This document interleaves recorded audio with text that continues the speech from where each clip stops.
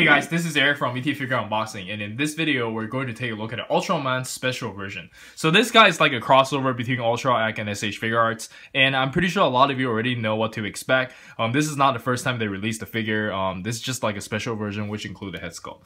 I don't know anything about the manga or the anime. I watched the older Ultraman though, but I still prefer Kamen Rider. Anyways, I just like the design on this guy, and I might just go all in for the line, depending, because they're all very expensive. And I think the only one that was regular release is the um, the first one without head sculpt. But anyways, here's the front of the box. I like the art. And here's the left of the box. Here's the right of the box. I believe they're the same design. Here's the back of the box. And he does come with a really cool special effect parts that the first one didn't have.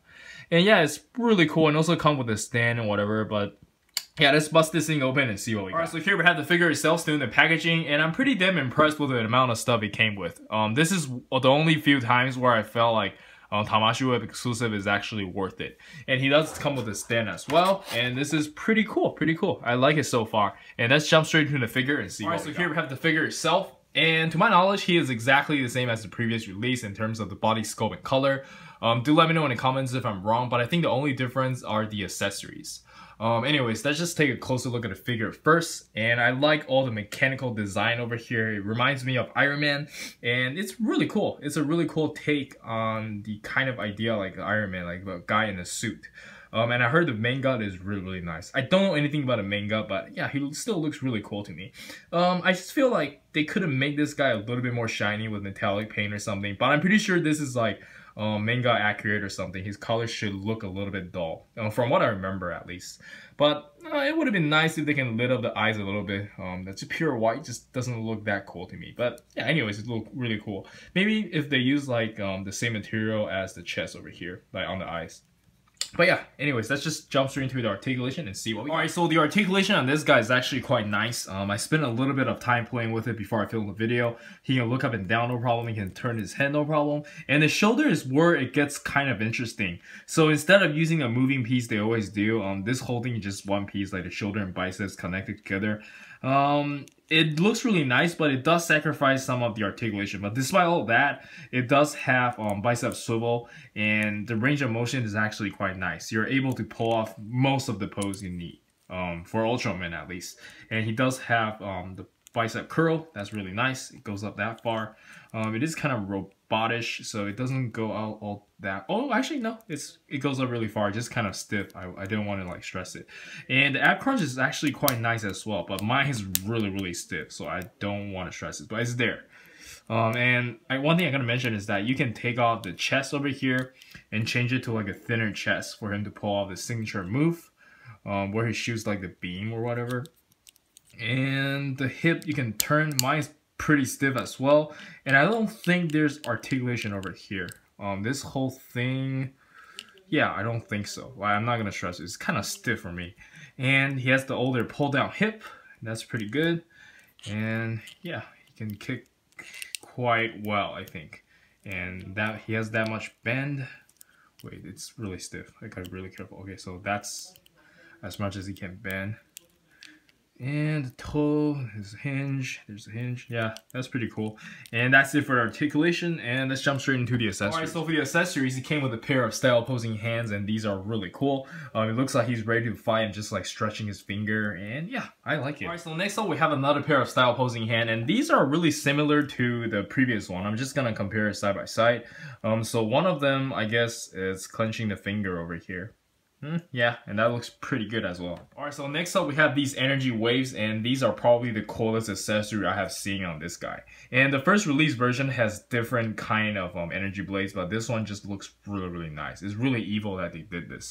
But yeah, all you do is you just take this part out and just swap it with the um, energy effect parts over here. It's pretty easy. And let's check out what he looks like with it. Alright, so here we have him assembled with the effect parts and he looks amazing. And I think the effect parts alone is well worth the $80 I paid for Well, not really. Screw you, Bandai. Alright, so next up we have his signature move, which is the special beam effect parts, and these are really nice. I like it when Bandai does a translucent plastic like this. It's really, really nice. And um, same goes for um, the beam effect parts. You have to swap out the arm like how we did it with the, the, the blades.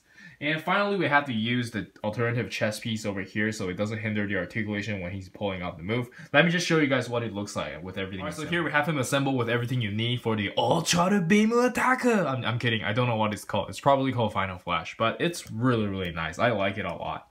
Alright, so lastly, he comes with the interchangeable head sculpt, and this is probably the main reason why people got the figure. Um, same for me. And he also came with an alternative left hand for him to hold the helmet. Um, it's pretty cool. And I absolutely love the face sculpt. It's really, really nicely done. And everything looks very clean. I like that a lot, especially like the layers of hair they're doing here. And he just looks really good. And I don't know anything about the character, but I'm pretty sure you guys think this is really cool as well. Hey, hey. So let's jump straight into the size comparison. Alright, so for the size comparison, let's just start with the SH Figuarts Dragon Ball figures. And I'm pretty sure a lot of you are more familiar with these. And this is what Ultraman will look like compared to them. He is quite tall though. Alright, so next up we have the SH Figuarts Avengers. And he is taller than Iron Man. Hmm, that's interesting. Alright, so next up we have some SH Figuarts Star Wars figures. And the color scheme here is really, really dark. Hmm, and he's as tall as Kylo Ren. They almost have the same shoulder height as well. Alright, so here I have Ultraman compared to some of the more colorful figures I have, and these are Kamen Rider Gaim figures.